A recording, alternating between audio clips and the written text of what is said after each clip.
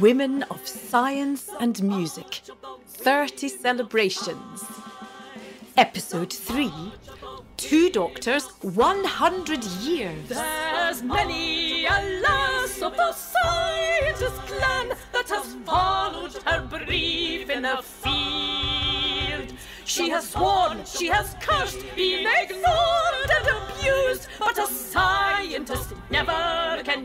I am Frances M. Lynch, the Artistic Director of Electric Voice Theatre, and you are very welcome to our third podcast in the series Women of Science and Music 30 Celebrations.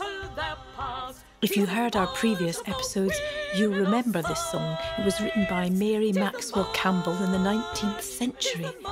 Originally called the March of the Cameron Men, it's now been requisitioned to herald the advance of women in science, and today, particularly those in medicine. In this third episode, Two Doctors, 100 Years, Catherine Booth, the retired science curator from the National Library of Scotland, will be exploring the life of Dr. Adeline Campbell as a figurehead for the many young women who served in medicine during and after the First World War, both on the front line and at home, where a terrible infectious disease was sweeping the UK, very much as COVID 19 is doing 100 years later. You will also hear the voice of critical care doctor Thalia Monro Somerville from St John's Hospital in Livingston and the Royal Infirmary of Edinburgh. She will be talking about her own experiences of working in the NHS today and her thoughts on the importance of remembering not to forget those who blazed a trail for women in medicine, like Adeline Campbell 100 years ago. Their two voices are interwoven with this music, which I created using words from Adeline Campbell's contemporaries. Beginning with a speech made by King George V of England during the First World War.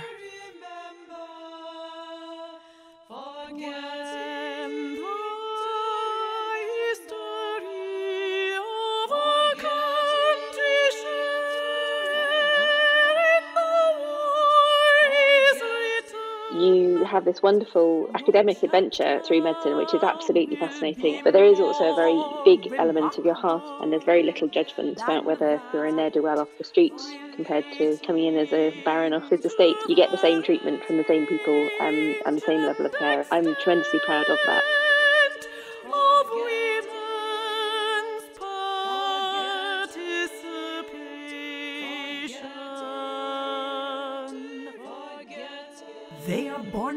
Born. A lot of them had this belief in making life better for less well off people, something that must have been instilled in them all by their father, who was a very well respected minister in Kirkcaldy. Adeline Campbell, doctor, born at Kirkcaldy Old Kirk to the minister and his wife in 1887 one of eight daughters, five of whom became doctors. Jessie Campbell, Lizzie Doctor, Campbell, Annie Campbell, doctor and and, medical officer in the Women's Campbell, Royal Air Force, doctor, Ishbel Campbell, Adeline research Campbell, chemist. known as Lena, served as a junior surgeon in Serbia during World War One with the Scottish Women's Hospitals under Dr. Elsie Inglis.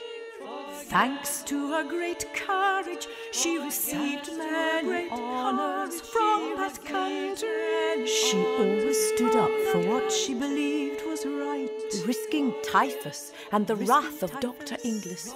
Lena and her colleague, Dr. Catherine McPhail, insisted they were needed elsewhere in Serbia. So they left and set up a hospital for typhus patients in Belgrade. She spent the rest of her life caring for children's health and taking a stand for those less fortunate than herself. Taking a stand, taking your stand. She was always standing up for what she believed. In later life, she worked a lot with women and children, unmarried mothers, people who were stigmatized. And she has worked in very unfashionable areas of medicine. She was always standing up for people who were less well off in the community. She clearly found a niche that she believed in. Quietly getting on with the job, doing what she felt was right, standing up for what was right, I think she should be celebrated. and having a bit of character and spirit, I think, made her quite a special I person. she's a laudable, amazing woman. She does represent hundreds of women who went out in all kinds of roles to work during the First World War. She was in the first contingent of women to go to Serbia under the aegis of Elsie Inglis and the Scottish Women's Hospital. Such tremendous courage going from Kirkcaldy to Serbia. I'm sure she didn't know what Serbia was when she left. She was 27. She was the second youngest in the group. Their hospital was a schoolhouse, which was very dirty. There were already patients there waiting to be treated when they arrived, and they had to just set do and start.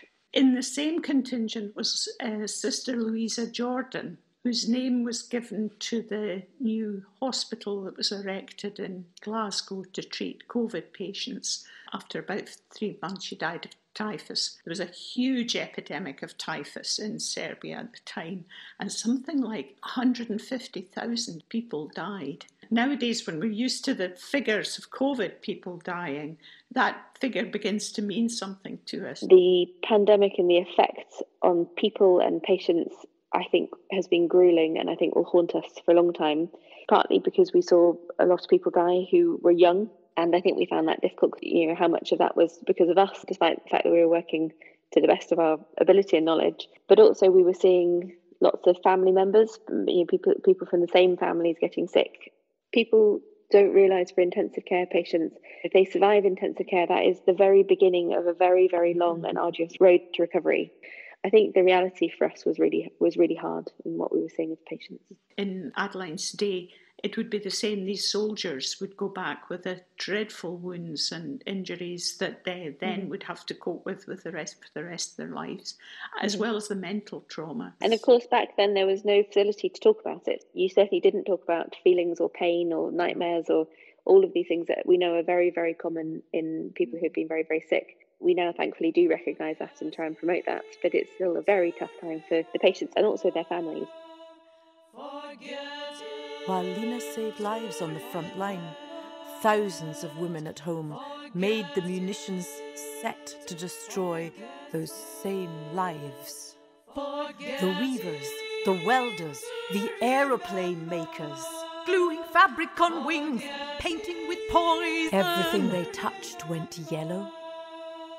The munition heads working with ether, headaches, hysteria fits. Oh, You'd wash and wash, it didn't make no difference, it didn't come off. Nausea, headaches, skin turning yellow, oh, down through the body, legs and toenails, even oh, yellow. Were these really women? Explosions, poisonings, deaths.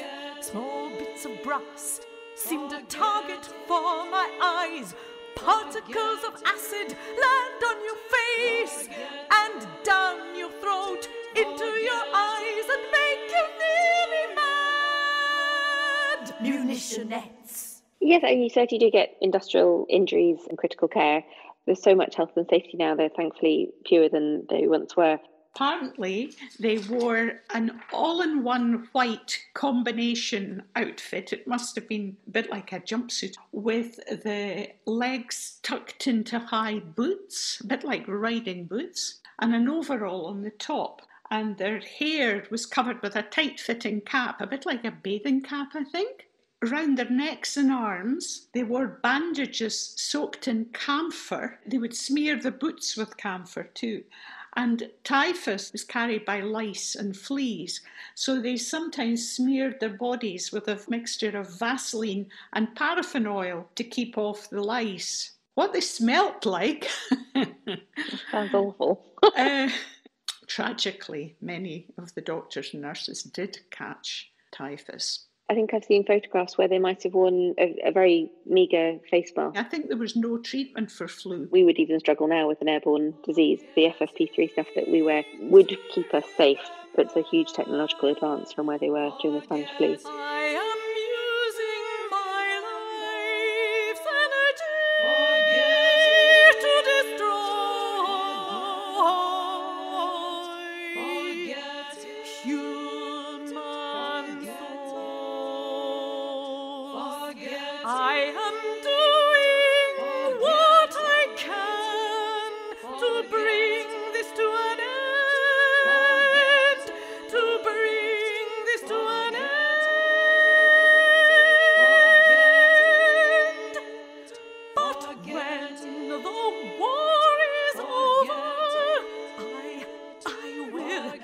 I will never, never do the same again.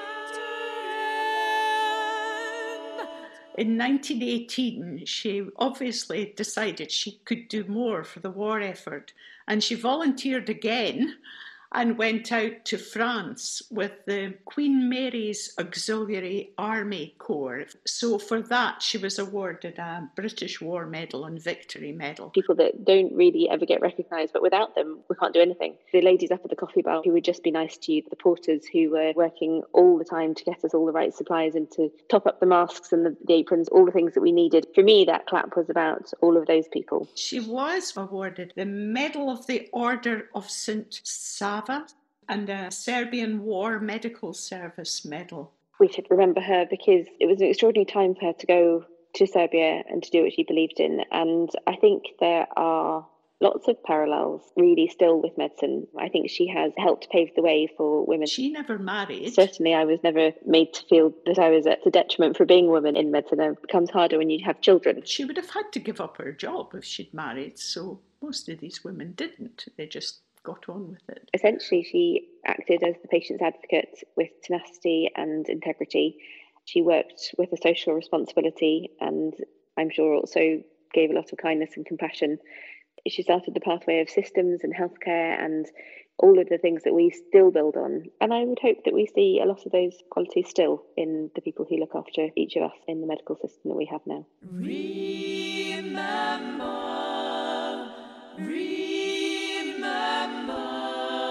It's always been quite a poignant poem for me because I see families in the grips of often quite difficult grief and challenge and anticipating whether or not somebody will live or die.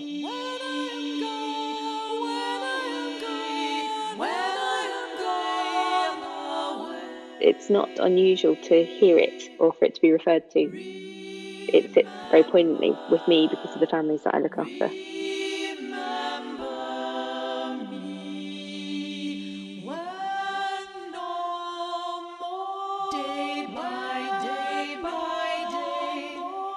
Of course, there's no record. She didn't write diaries. I've scoured newspapers to find little reports of things she did and talks she gave, and people saying she'd been a very kind doctor.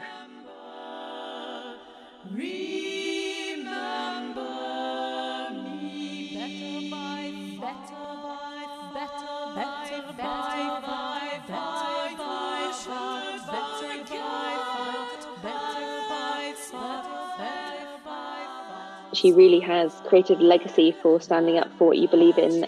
I think she's extraordinary and, and should be celebrated and thanked and remembered.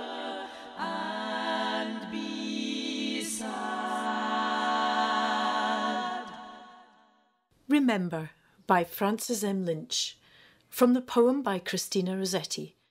All the sung voices today were mine, and we are very grateful for the expert contributions from science researcher Catherine Booth and critical care doctor Thalia Monro Somerville. And of course, many thanks to you for listening. This is the end of episode 3 Two Doctors 100 Years. Do join us again on June the 14th for episode 4 of Women of Science and Music 30 Celebrations. We'll be returning to Essex with science historian Dr. Patricia Fara and Essex born composer Cheryl Frances Hoad to find out more about Marconi's secret engineer, And the music Cheryl will be writing about her, incorporating the first concert broadcast worldwide, which was given by Dame Nellie Melba a hundred years ago at Marconi's New Street Works in Chelmsford the march of the wind.